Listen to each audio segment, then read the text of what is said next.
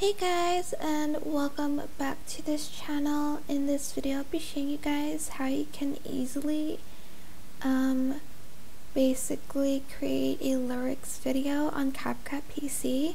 So just go to text and add in your default text and just add in your lyrics but I'm just going to um, just leave it like this. And then you can also change the font here if you want to. I usually use the Avenir font. Is that, yeah, the Avenir next font. And then I'm just going to copy and paste that. You can like use as much as like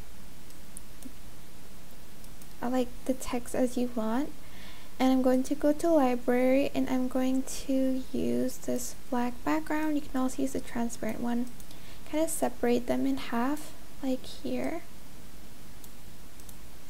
and then on this one I'm going to select both right click right compound clip and then I'm going to do that again.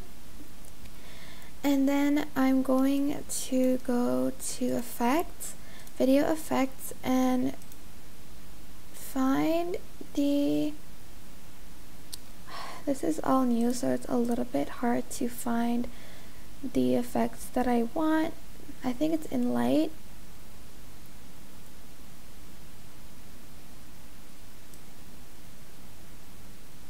on this is very new so I need to find the um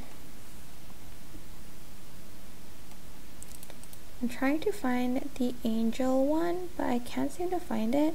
But if you haven't um, updated your app the angel one should be here oh yeah it's in light sorry. And you're just going to adjust the strength of it a little bit and you're just going to copy and paste that. It's also better to do it before you um, before you create compound clip. Sorry about that.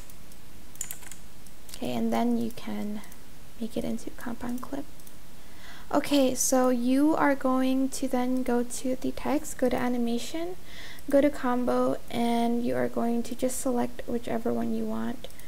Um, I'm just going to choose slide wave and wave slide.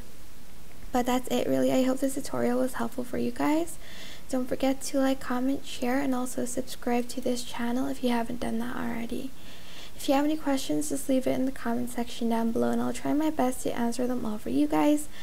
And if you found this video helpful, please click the thanks button above the description box down below. Thank you so much for watching. Bye!